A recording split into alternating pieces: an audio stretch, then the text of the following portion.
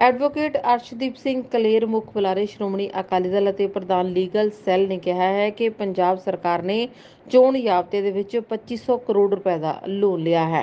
Loan session ਹੋਇਆ ਅਤੇ ਅਪ੍ਰੈਲ 2037 ਤੱਕ ਇਹ 2500 ਕਰੋੜ ਰੁਪਏ ਦਾ ਲੋਨ ਉਤਾਰਨਾ ਪਵੇਗਾ।